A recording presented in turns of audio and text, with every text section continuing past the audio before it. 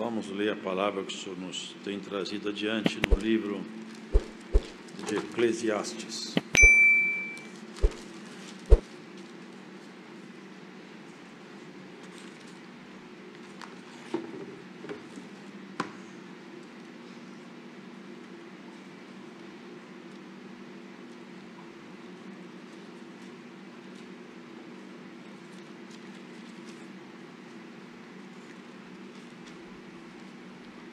Capítulo de número 7, 7 do livro de Eclesiastes.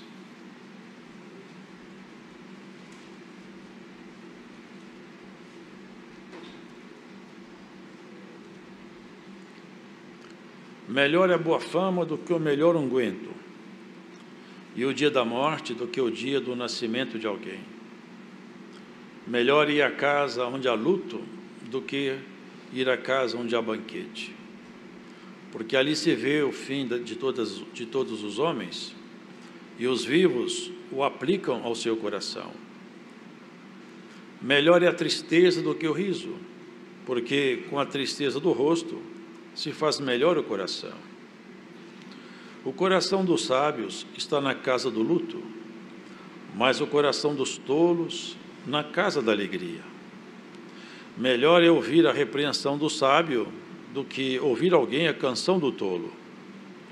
Porque qual o crepitar dos espinhos debaixo de uma panela, tal é o riso do tolo. Também isto é vaidade. Verdadeiramente a opressão faz endoidecer até o sábio, e a peita corrompe o coração. Melhor é o fim das coisas do que o princípio delas.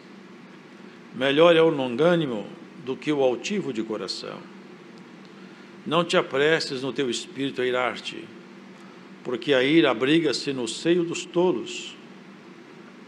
Nunca digas, porque foram os dias passados melhores do que estes, porque nunca com sabedoria isto perguntarias. Tão boa é a sabedoria como a herança, e dela tiram proveito os que veem o sol porque a sabedoria serve de sombra, como de sombra serve o dinheiro.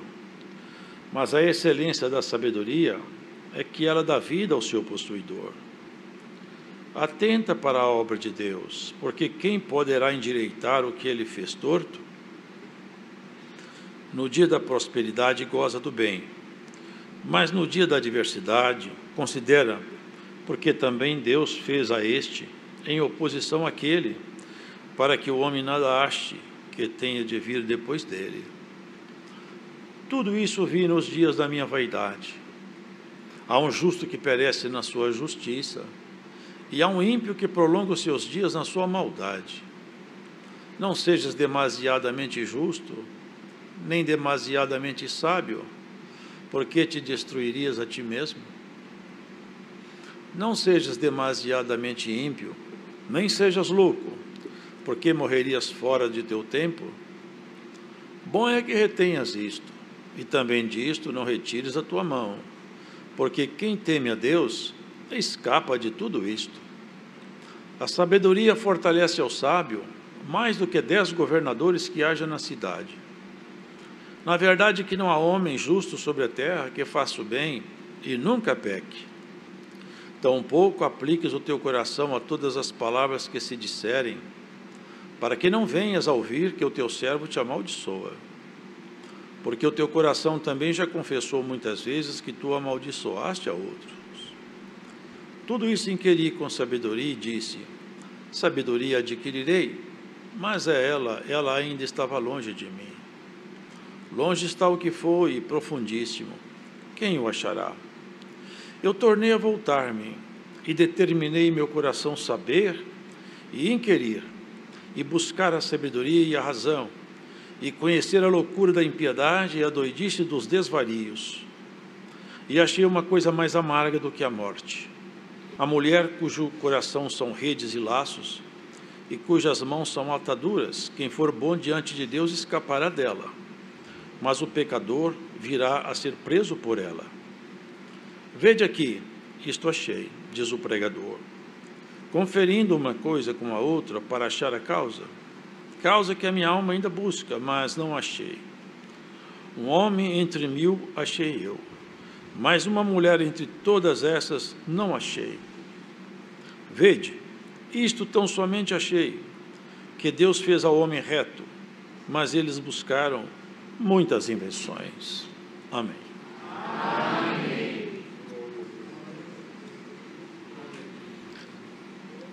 A exposição da palavra de Deus, ela por si mesma traz luz e ilumina o interior de quem ouve com atenção. Porque Deus poderia fazer todas as obras por muitas vias, sendo Ele Deus, Todo-Poderoso, Onipotente. Contudo, Ele escolheu o caminho da palavra, pelo diálogo, pela voz e pela exposição das suas ordens, Ele criou todo o universo e Ele também forma dentro de nós a nossa natureza, que de fato precisa de ser trabalhada a cada tempo. E nessa exposição, esse rei, que foi um homem iluminado por Deus, embora que ele tivesse recebido uma instrução de rei, toda essa sabedoria dele nasceu de um diálogo, de um pedido que ele fez ao Senhor. E numa noite, durante o diálogo, o Senhor transferiu para ele uma sabedoria profunda. E com essa sabedoria, ele investigava. Ele percebia a natureza das pessoas, das coisas e dos homens. E conseguia, com um olhar penetrante, é, fazer observações escrevê-las e torná-las públicas. E aqui hoje nós lemos nesse capítulo a exposição desse servo de Deus acerca das vantagens do sofrimento, da moderação e da paciência. Ele começa a exposição dizendo que a boa fama ela é melhor do que o unguento. Diz assim: melhor é a boa fama do que o melhor unguento. O unguento é um óleo trabalhado com ervas aromáticas e esse unguento ele tem um, um, um aroma muito agradável e ele marca a história também da igreja porque por intermédio de coisas como essa o Senhor fazia e fez por muito tempo muitos movimentos espirituais em Israel e eram coisas comparativas. Era a forma que Deus tinha de falar de coisas mais altas, usando de coisas aqui embaixo. O Senhor Jesus mesmo disse: Se eu vos falo das coisas terrenas e vocês não conseguem me entender, que dirá então se eu começar a dialogar com vocês sobre as coisas celestiais?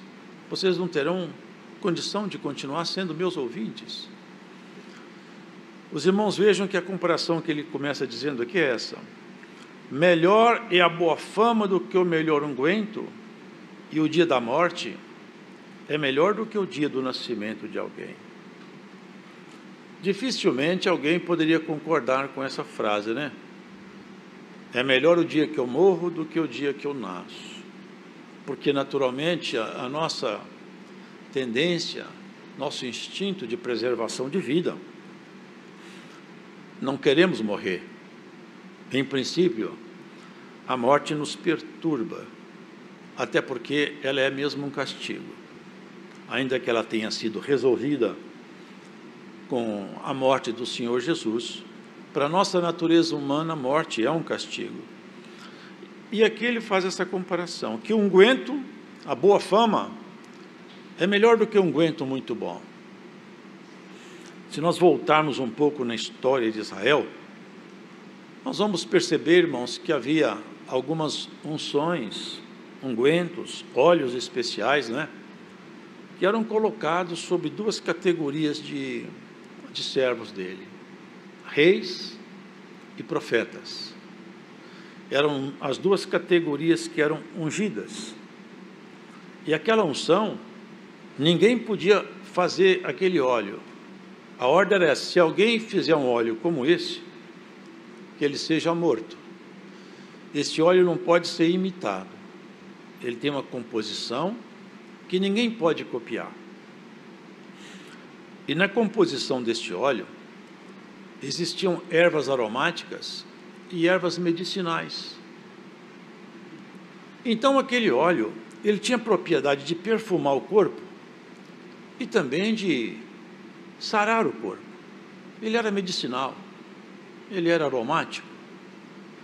E é a simbologia, irmãos, que foi usada por muito tempo, porque quando a pessoa era ungida, o Espírito de Deus se apoderava daquela pessoa e passava então a manifestar-se nela, e ela tornava-se então um instrumento dentro da casa de Israel.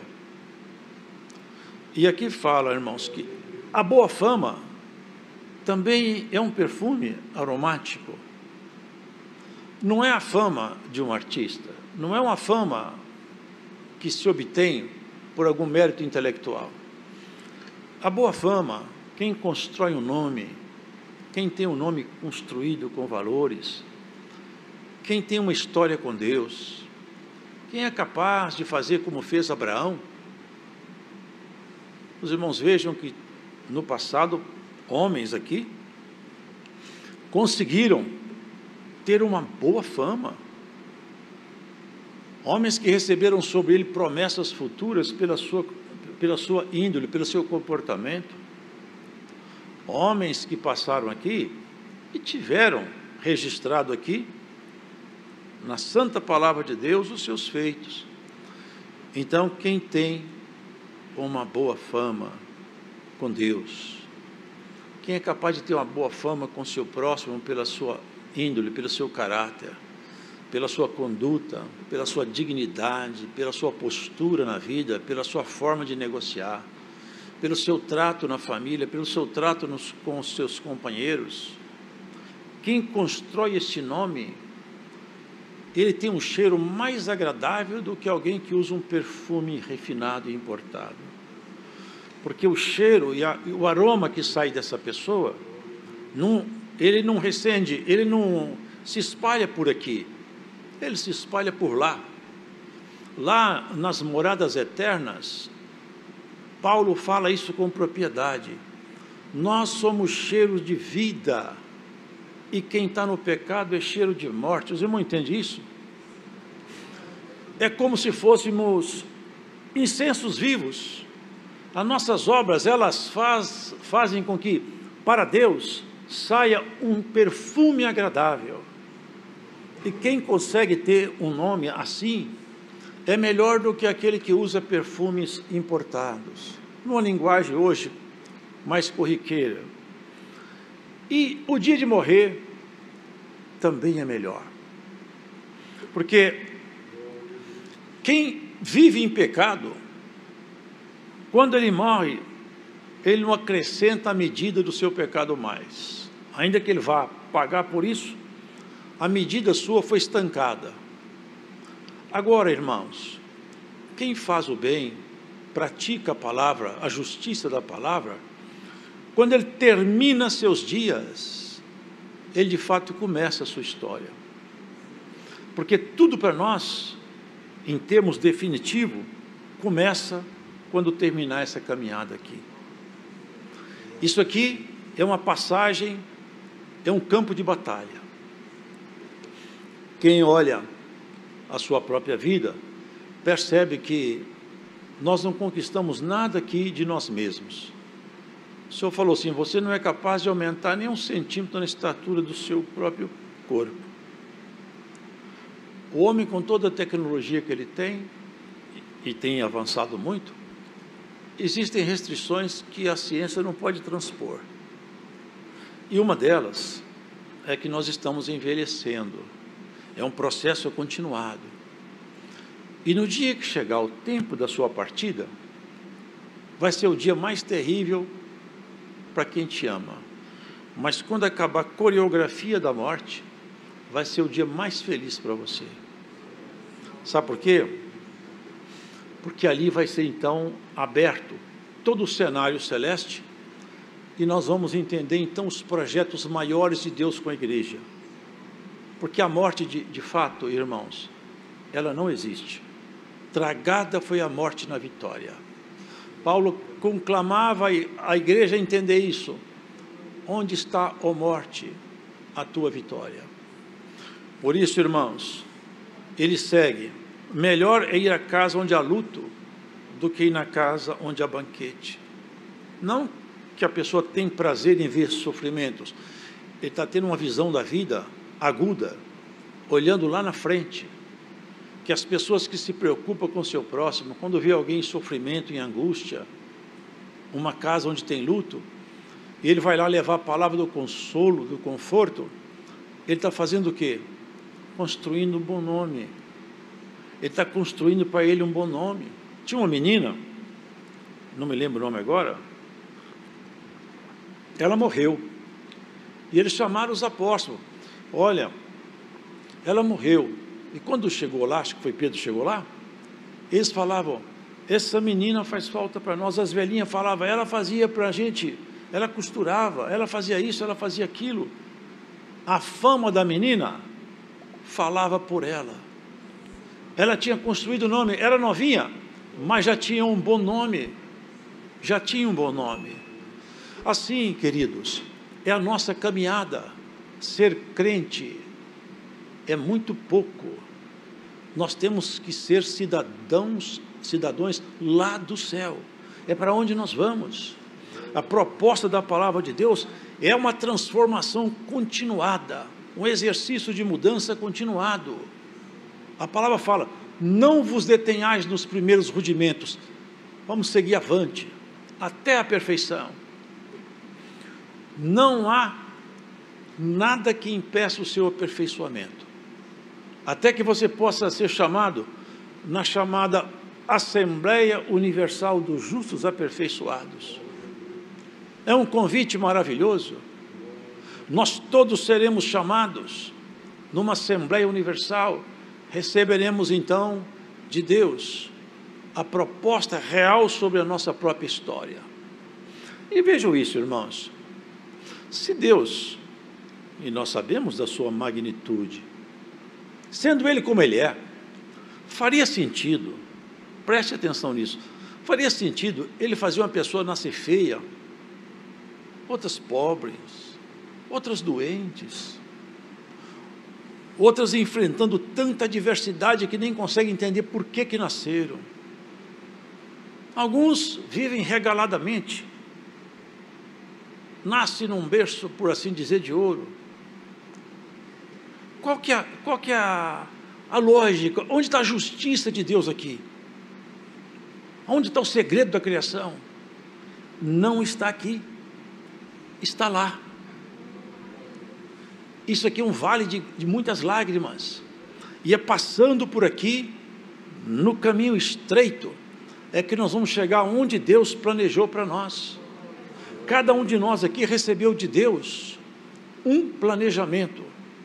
Você tem que atingir o que Deus projetou para você, receber a palavra e o crescimento que marca a sua estatura até onde Deus quer te levar.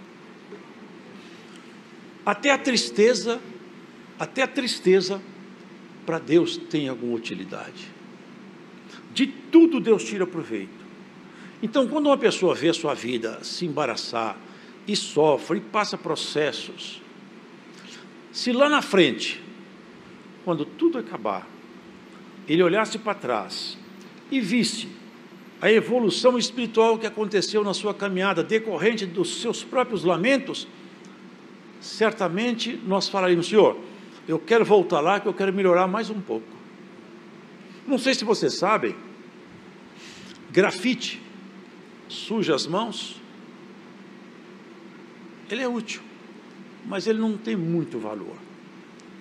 Mas o mesmo grafite, quando ele entra debaixo de uma pressão muito forte, alta pressão, o arranjo molecular do grafite muda. Sabe o que acontece com o grafite? ele vira diamante. É o mesmo material com a pequena mudança debaixo de grande pressão, ele muda a sua estrutura. Vocês percebem por que, que o servo de Deus falava isso? Sofrer, passar processos, dificuldades, é como se fosse a pressão em cima de um, de um grafite. Quem pega um diamante já não suja a mão mais. Ele pode ser trabalhado para pedras, para engastes de, de, de joias. E é exatamente o Senhor vai colocar cada um de nós como engaste de uma coroa. Nós estamos sendo trabalhados por Deus. Se aqui fosse o plano dele, ninguém sofreria. E também não, tem, não teria ninguém feio, nem aleijado, nem desempregado. Nenhum tipo de problema acometeria nós. Porque não acomete os anjos. Vocês nunca vão encontrar na Escritura que tem anjo chorando, feio, pobre, machucado. Anjo vive na plenitude da glória de Deus. A glória de Deus estampa neles a excelência. Eles vivem da glória de Deus. Nós vivemos aqui, irmãos, nosso alimento, ele tem que ser digerido, a nossa vida está pulsando no nosso sangue. Tudo aqui é com dificuldade. Os anjos, eles habitam, e tudo que é de Deus transita neles sem nenhum obstáculo. Para nós tem obstáculo. A nossa razão é obstáculo. A nossa posição, a nossa forma de pensar, até a nossa cultura é obstáculo. Tudo em nós segura. Mas se nós desarmássemos abrisse completamente o nosso coração, como aqueles homens simples do passado abriram. Se nós deixássemos, ficássemos desarmados, então o que é de Deus passaria por nós com mais facilidade. E, e assim, nós não precisaríamos tanto de entender isso, que o choro vai me tornar mais sábio do que o riso, que o luto vai me ensinar mais do que a alegria por causa da sua e da minha natureza humana. Nós temos a natureza espiritual, mas a natureza humana, ela puxa para um caminho caído. Ela é atraída pela força que habita aqui embaixo, porque esse mundo foi entregue ao maligno. Ele falou: tudo isso aqui é meu, porque a mim me foi dado, e eu dou a quem eu quero. Ofereceu ao Senhor. Toda a estrutura desse mundo está na mão dele. E há pessoas que largam a vida espiritual para correr atrás da estrutura, estrutura do mundo. O senhor fala assim: quem encontrou o mundo, perca-o. Vocês entendem isso? É a linguagem do Senhor. Não que a pessoa tem que vender, ficar pobre, não é isso não. É não pôr seu coração, não fazer da sua caminhada o único objetivo de conquistar as coisas aqui embaixo do sol conquista um bom nome, se preocupa em ter amizade com Deus. Quando você for falar, põe um guarda na tua boca. Quando você for uma conversa, põe um filtro. Se a conversa é pesada, vira as costas e vai embora. Eu não posso me contaminar, porque o Senhor está de olho em mim. Eu sinto o Espírito de Deus em mim e eu percebo quando ele fica em silêncio, ele se entristece.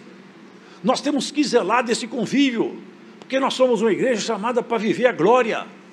Nós temos que vivenciar a glória. O tempo de um grande derramamento sobre um pequeno povo está chegando. O cerco em volta de nós aumenta. A lei sendo projetadas para amordaçar a igreja. O pecado campeia até hoje no meio das crianças, porque nós temos um trabalho para desconstruir famílias. Mas o projeto de Deus conosco, irmãos, é de fazer com que cada um de nós receba dentro do Espírito a porção que foi destinada. Olha, nós podemos receber a porção do Espírito Santo em uma, uma medida que ela pode ser aumentada. O tanto do Espírito Santo que está em mim é o tanto que eu participo em Deus. Se ele aumentar a, a porção dele em mim, eu aumento a minha compreensão daquilo que é dele. Ninguém conhece as coisas de Deus senão o Espírito de Deus que nele está. E nem, ninguém conhece as coisas do homem, senão o Espírito do homem que nele está. Para que eu tenha conhecimento do que é de Deus, é necessário que o Espírito dele esteja junto de mim. E se ele aumentar a porção do Espírito dele em mim, eu vou aumentar a minha compreensão do que é dele. E tudo isso, queridos, pode ser feito pela busca individual ou pelas lágrimas individuais. ou pelos processos que a vida propõe. Cada um de nós escolhe o caminho que quer ser aperfeiçoado. Bem-aventurado aquele que se dedica no bom trato, na construção de um bom nome, no trato dentro de casa do esposo com a esposa, do pai com o filho, do filho com o pai. Quantas pessoas tratam de qualquer maneira um convívio no dia a dia, não se preocupam?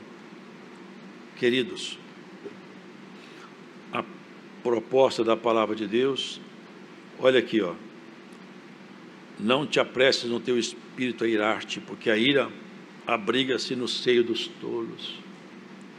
Quantas pessoas ficam iradas facilmente, falam palavras pesadas facilmente, tem palavras que são como a ponta de uma espada, mas a resposta branda, ela quieta a ira, desvia o furor.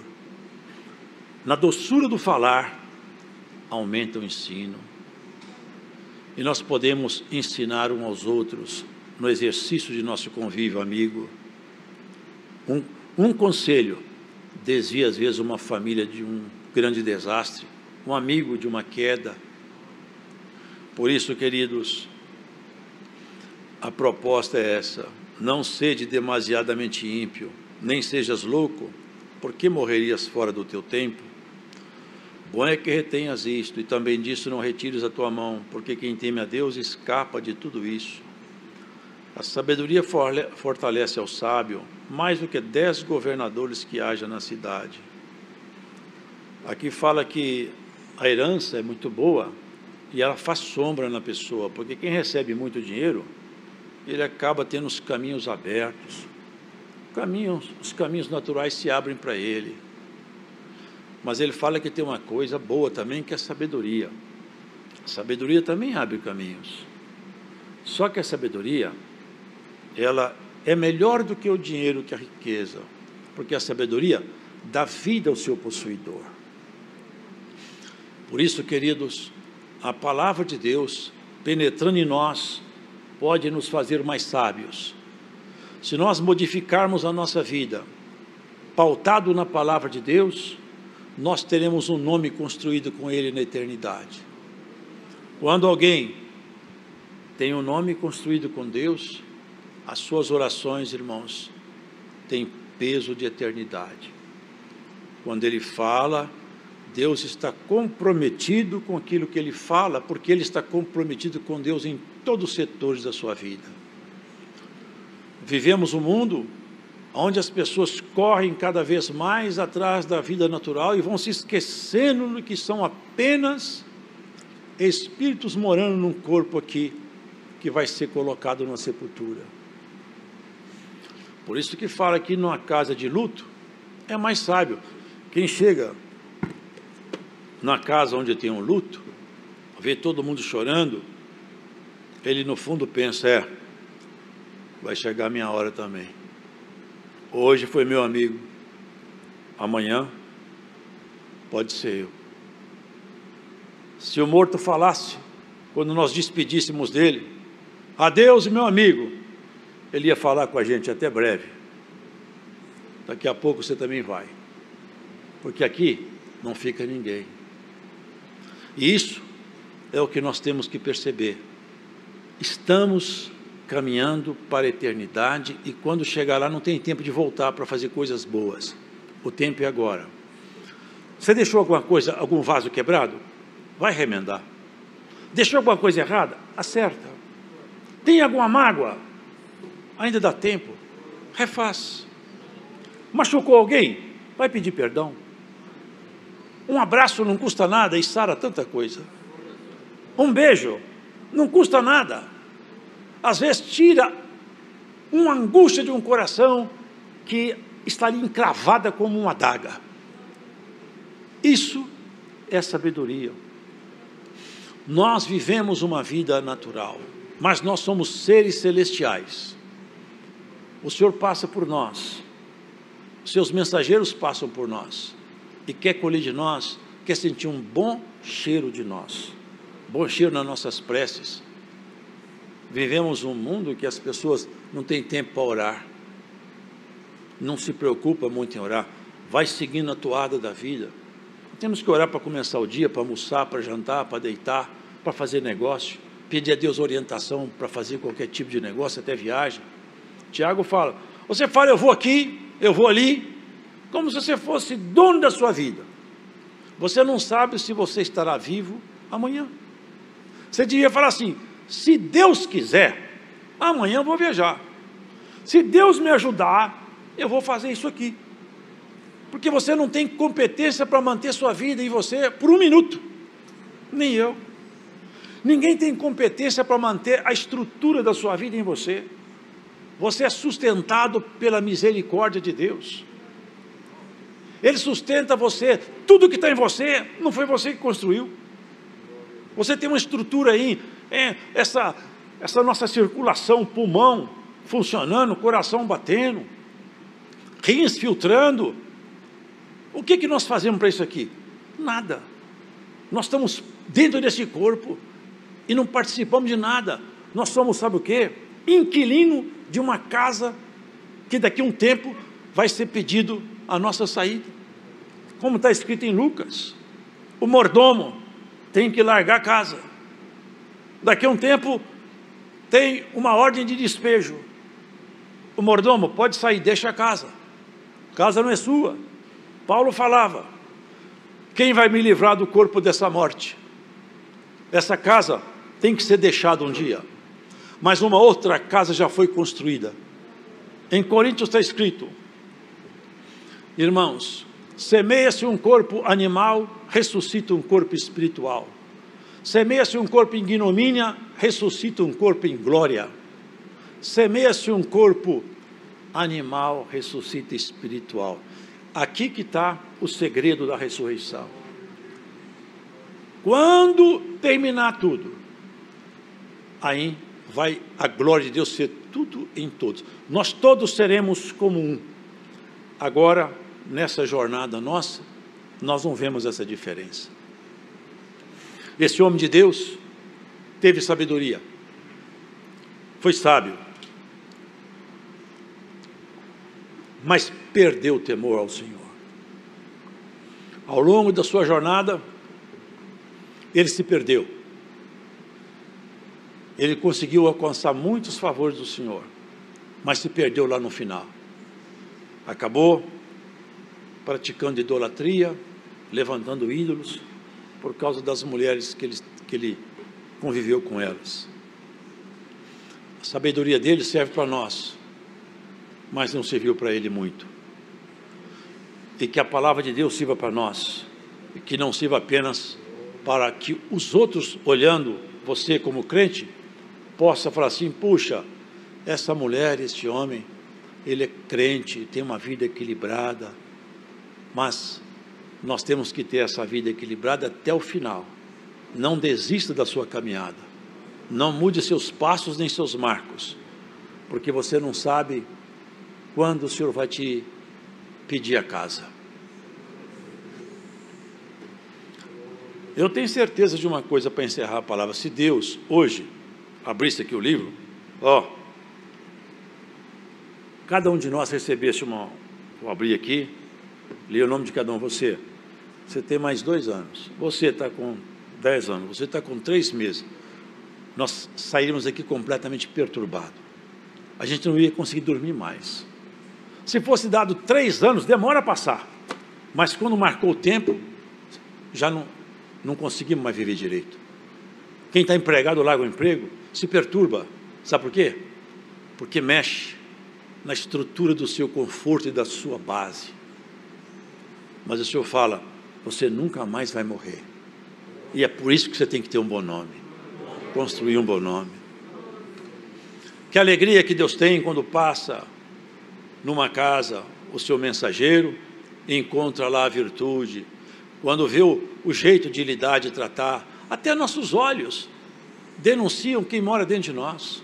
Até como nós olhamos, denuncia quem anda dentro de nós. O Senhor te pegou pela tua mão. Ele que te escolheu. Você não subiu ao céu para fazer paz com Ele. Foi Ele que desceu aqui na terra para reconciliar com você. Você não escolheu ter fé. Foi Ele que outorgou a você a fé. Você aceitou o chamado dele. Fé é uma escolha, mas é uma autoridade que Ele deu para nós na cruz, em Jesus Cristo, nosso Senhor. Daqui para frente, lembra de uma coisa: Deus aguarda você nos seus negócios, no seu jeito de tratar sua família, no seu jeito de tratar seus amigos e no jeito de você tratar suas dificuldades. Conhece-se um homem muito mais quando ele está irado do que quando ele está calmo. Conhece-se uma pessoa muito mais quando ela está doente do que quando ela está em plena saúde. Até o inimigo, que conhece e sonda todos os homens de dia e de noite, diuturnamente, ele rodeia a terra o tempo todo, sondando, buscando falha na estrutura para atacar. E conhece o ser humano, conhece as mazelas humanas.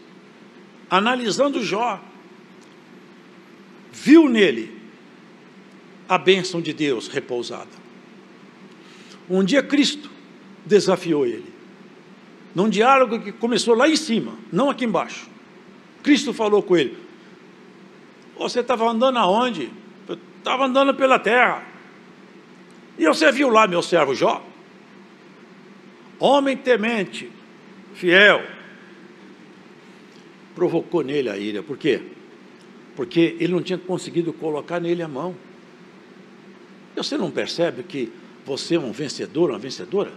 Quantas vezes ele já passou por você e deu minha volta e não conseguiu te pegar? Ele não conseguiu pegar Jó e ficou irado. É, ele teme a Deus, mas também ele recebe só favor. E eu falo para você, ele só gosta de Deus porque ele tem bens materiais. Se tirar os bens dele, ele para de gostar de Deus. Pode tocar nos bens dele. E ele foi perdendo tudo. Vê como é que constrói o nome. O Senhor já conhecia quem ele era, mas o inimigo não. E Jó também não se conhecia. Só o Senhor que conhecia. Esse desafio veio do Senhor. Quando ele perdeu tudo, ele falou as palavras que o inimigo esperava ouvir dele. Certamente devia estar lá a mão direita dele. Dessa vez, eu conheço o homem, essa matéria eu conheço. Calmamente, Jó falou. Eu, tudo que eu tinha, foi Deus que me deu. Agora ele tomou tudo de volta, mas ele pode fazer isso. Ele tem autoridade. Foi ele que me deu. Eu nasci nu, nu eu volto para o ventre da terra. Bendito seja Deus. Vocês veem como é que o nome vai sendo, a construção de nome depois fica revelado. Não, não contente, foi desafiado outra vez, onde falei que ele gosta de mim. O cheiro dele estava começando a perfumar o céu e está perfumando hoje esse culto. Pele por pele, o homem dá tudo que ele tem pela sua saúde. Então toca na saúde dele. Quando o inimigo está aí, você, ei, não mexa na sua vida. Vocês percebem como é que nós somos guardados pelo rei? Tudo na nossa vida está na mão dele. Não chega nada na sua vida que ele não autoriza. Nenhuma lágrima desce do seu rosto se não passar pelo crivo do Senhor. Todos os seus processos, todos os seus caminhos, muitas vezes lastimáveis que você já trilhou, foi o Senhor que autorizou. Tudo que você passou foi o Senhor que autorizou, sabe por quê? Porque Ele sabe a sua medida. Está escrito que nós não seremos tentados acima daquele que nós podemos suportar. Tudo que você passou até hoje, passou pela mão do Senhor, pela medida, pela régua. Pode passar, Pode provar, pode tentar, porque ela gosta de mim. Ele gosta de mim. É o que ele falou com o inimigo. Jó vai continuar gostando de mim a si mesmo. Jó outra vez falou: Bendito seja Deus. Eu, eu amaldiçoo o dia que eu nasci. Eu amaldiçoo até o homem que falou que o menino nasceu. Mas Deus continua sendo bendito na minha boca. tudo o que ele passou. Deixou uma memória de um nome que ele envergonhou toda a estrutura do inferno. Nem o próprio inimigo sabia até onde Jó era capaz de ir, por causa da sua sinceridade. E assim você, que hoje escuta essa pregação, na sua própria história, você foi muito além do que o inimigo acreditava que você iria. Porque muitas vezes ele tinha certeza que você ia parar e você continuou. E agora, nessa altura da sua caminhada e na altura da sua prova, o Senhor vai dar um paradeiro à luta de alguém. O Senhor vai te dar um tempo de descanso para você recompor suas forças. Porque o bom nome você não perdeu e nem vai perder. É o cheiro agradável que nós temos diante das narinas eternas do Senhor. Hoje, por esse culto, o Senhor põe um, um basta em algum tipo de provação que você está passando.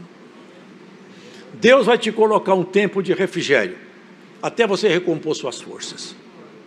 Nós somos chamados para uma batalha, nós somos chamados para a guerra, e cada um de nós tem que ir para a batalha, enfrentando as nossas dificuldades. E se nós soubéssemos a força que tem a oração, o poder que tem uma humilhação, nós exercitaríamos mais isso, irmãos.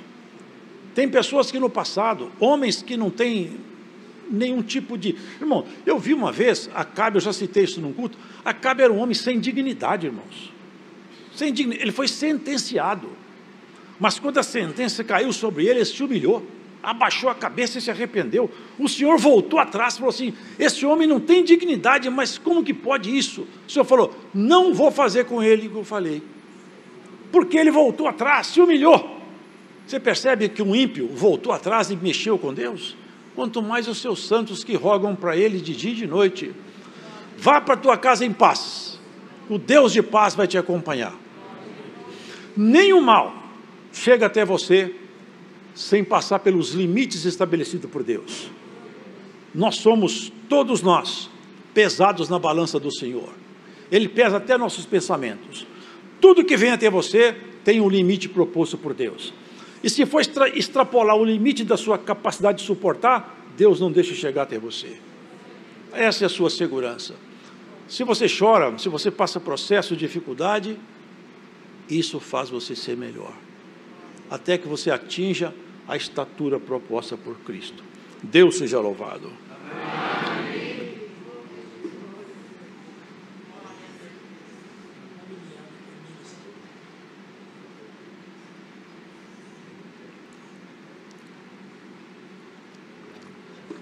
Vamos agradecer a Deus em oração.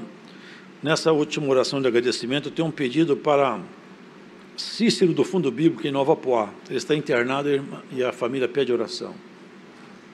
Unidos, oremos a Deus.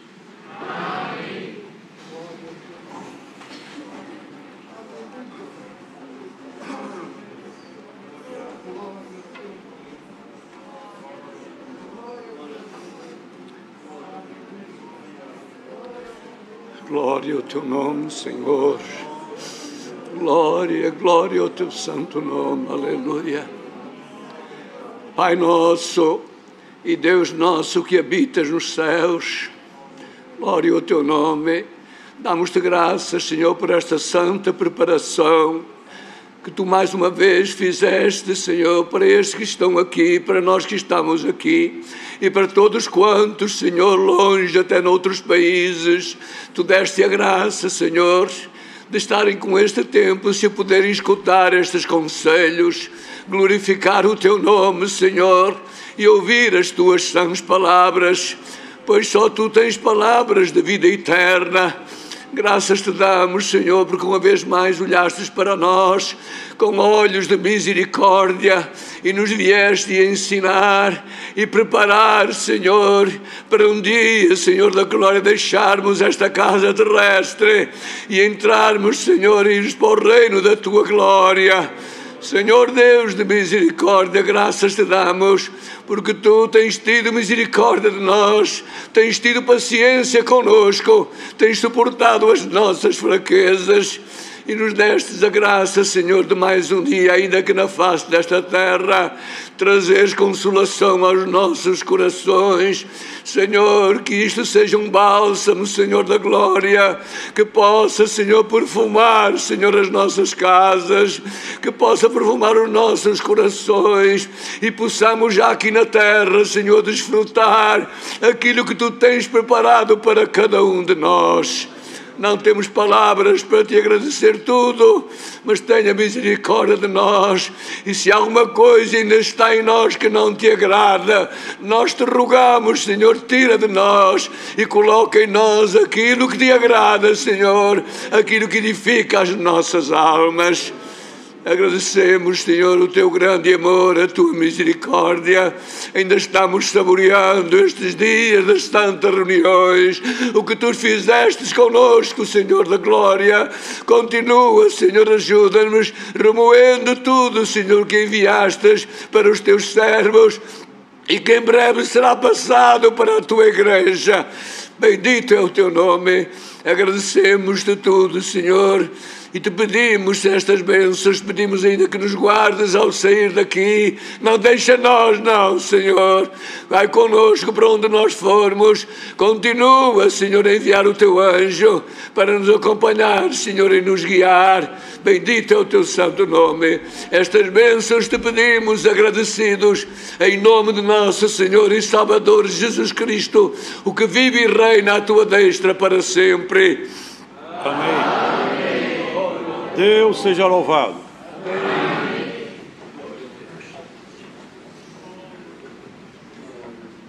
Vamos cantar o coro de número 2.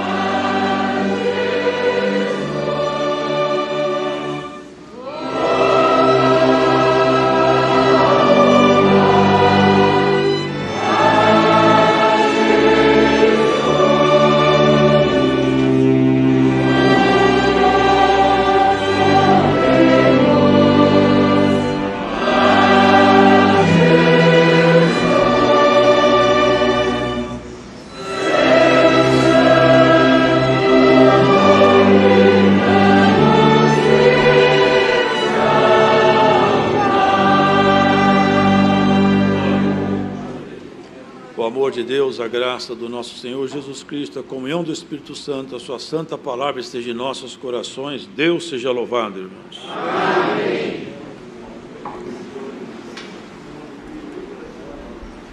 Hino da despedida 328, 328.